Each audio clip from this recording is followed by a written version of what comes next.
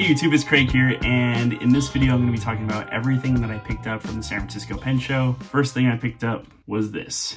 This is a Waterman trade card from 1884. It's the earliest thing that Lewis Waterman put out back when he was just renting an office behind a cigar shop off Fulton Street super cool. I already have this one, but this one is in much, much better condition. Um, and for 80 bucks, this was a, a, major steal, huge grill piece for any antique Waterman collectors. But super cool, 80 bucks. My other one I paid 300 for, and this one is in such better condition. So that was the first thing that I got at the show. The second thing that I got was this sign. This is a tin sign, which was probably used at a train station. My guess is either Indianapolis or Cincinnati, but Brookville is smack dab in the middle of that. Caspar Ritzy lived from 1858 until 1930, and his granddaughter actually sold the business in 2012, but is still around Ritzy Jewelers in Brookville, Indiana, and they also sold Waterman's Ideal fountain pens. So What's really cool is they made several of these, you know, that these were just around for the train depots or bus stations or, or what have you back, back in the day. This is probably from the 19 teens. But my buddy Gabe actually has the exact same one with Casper Ritzy's name on it. Super cool piece. I really appreciate Andy Sonamaker for having such cool pieces. So at the end of Friday, someone actually approached me and said, "Hey, did you see there's a there's a pen that you might be interested in because I'm always looking for little secretary pens. I collect them." And I saw it, but I didn't have the the funds with me at the moment. So I came back early on Saturday and the first thing I picked up was this and this nice little purple lined box. This is a 512 and a half solid 14 karat gold Barleycorn secretary Usually the nibs on these pens have like smaller shoulders and this one you can see doesn't quite hug the spoon feed as well. This thing is so mint. The imprints all look so good. Everything on here just looks stellar. You can see the 14K at the bottom. 14 karat on the cap. Threads are all nice, smooth. And that molten imprint on the bottom. This thing is killer and there's no monogram on it. There are no hallmarks for the English market on there. This thing was made in the US for the US market and it is just such a beautiful little piece. And this pen came from John Strother. I picked up the 24 pen case from him last year as well as my hand engraved fine. I went over to Scott Jones's table and I picked up his new book, Flippity Flappity Floop all of his wacky whimsical drawings, all done with fountain pens. I did a whole video on his work. This is every day of 2022. Oh, we got Scott, we got Mira, we got Mike in there. Pretty cool. There's some more info about Scott. What's this? Flippity Flappity Floop is the latest volume in the ongoing art book series from the fountain pen of Scott B. Jones. Of course, I had Scott sign it, and then he always puts in coordinates on where we are, and then the temperature, and then this was San Francisco in this case, and then he put his stamp in there. Super awesome. Thank you, Scott. While I was at his table though, I did a trade. So I had a fairly early Waterman, I believe it was 24, but it was just really, really worn down. And I did a trade and he gave me a some taper cap, sort of no-name brand pen, and this. And I gave away that taper cap. And I'm keeping this beautiful pen. This was actually from uh, Miro, the part of the patent date in there. The nib is awesome. It's a number four, it's a 14. And then the imprint on there is pre-globe. Based off of the feed and the imprint, it puts it between 1898 and 1902, somewhere in that realm. Also that day I got this, not a Waterman, a Notterman in this case. But this is a Craig pen. Craig was the sub-brand of Sheaffer. So this is actually a Sheaffer and it just says Craig on it. That's it. No patent dates, nothing. As this very strange looking feed and a warranted nib. And this one actually does not have a sack in it, um, but I just put some cotton in there just so it would keep the lever down. And I have no plans on really inking this one up or using it, but it's just really nice. Thank you, James, for the sweet free Craig pen. I found my way back to Andy's table and I found this. This is a Waterman 412. In this case, it just says 12 on the bottom. This is the earliest filigree pattern that they did. And what's really cool about this one too is it has a gorgeous star nib on it.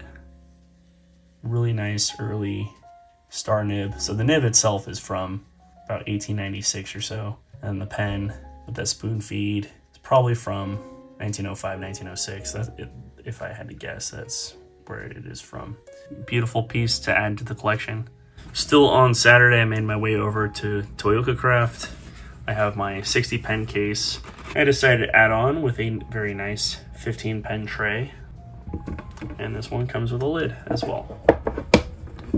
So, there you go. They also had these little mini pen stands that are like keychains. That's nice. And I also got one of these three pen stands. There you go, three pens, perfect. Nice little piece. Anyways, and then on Sunday, I went in with a mission to get some modern pens. This is from the Desiderata Pen Company. This is Pierre's business card, and it's just so funny. Like, designer, customer service, process engineer, manufacturing principal, covering up for a reason, says I'm getting too old for this stuff, but he is hilarious. His card is really funny, and his pen is awesome. I'm gonna make a whole video about this, but this is what he calls beige ripple. It's ebonite, and it's number 15 of 40. What's cool about this pen is it takes the Zebra G dip pen nibs and then his own feed, ebonite feed. You get to choose between black or red, and it is actually a piston filler. Pretty cool. It's got this little roll stop on it, and you actually screw on to post. But cool looking pen, awesome flex. Oh, and if you're wondering, these are $180, or with the Zebra G setup, it's $200, so it was pretty cool. Then I stumbled upon this. I went back to John Strother's table. I don't know why I didn't see it, but I walked up and I'm always looking for early things. I didn't realize it had its original box. I have one of these boxes. It's in a little bit better shape, but this is the original box of this pen, which is super cool. The box is a little worse for wear compared to the pen itself. I walked up looking at it, it's like, oh, okay, cool, it's a little 22. No, this is a number 23 medium nib, $3.50. It is super mint. That price sticker looks so good on it still.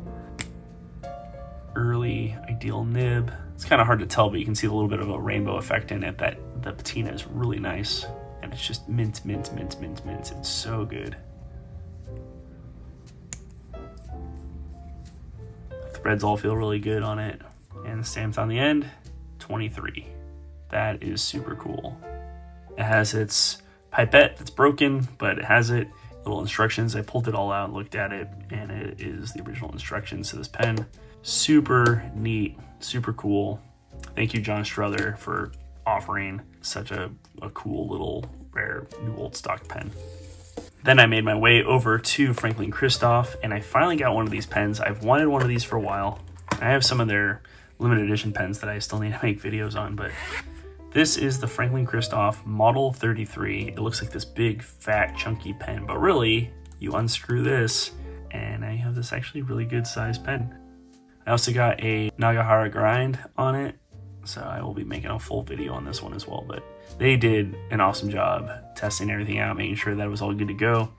So Franklin Christoph, lovely pens, got such a nice guy. Picked this up, I think with California sales tax, it was like 300 or so with that specialty grind and everything. So cool stuff. Made my way over to Rickshaw and I already have this pen roll, but I also picked up this little pen case. And I also picked up a little extra mini pouch. I'll find some use for that. Just really like the design with the Great Wave on it. Really, really great stuff. They're all made in San Francisco. So, but inside, I also got this, just like a two pen sleeve with that red plush interior, the Inktopus, as they call it.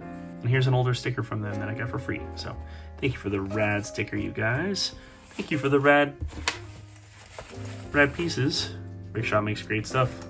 And lastly, guys, there was a silent auction I entered into and I won one of the pieces. If I was gonna get one, it was gonna be this one. I have to look up all the info. I can't tell you off the top of my head the Urushi lacquer techniques that went into this, but I will put the info on the screen as well. And yeah, this thing is absolutely beautiful. And it will fit an Emperor just fine. But it is a six pen tray and it cannot fit six of these pens. But regardless, it is a very, very beautiful piece of art and craftsmanship. There's just another technique on the bottom. Gorgeous little piece. That's it, guys. That's all I got at the San Francisco Pen Show. I didn't buy any ink. I didn't buy any paper goods. I just, you know, really buy things that you like or buy things that you need. And I ended up coming away from the show with a bunch of Watermans, and I haven't been buying Watermans lately. I had a great time at the San Francisco Pen Show, picked up some really awesome things, hung out with a lot of cool people, made a lot of new friends. I really recommend hitting up a show. Just be prepared. Sometimes it's a little overwhelming going to the shows. Thanks so much for checking this video, you guys. If you have any questions, go leave a comment down below. If you like the video, give it a thumbs up. Please subscribe for more content like this and check out my Instagram at Craig and I'll see you guys all in the next video. All right, peace.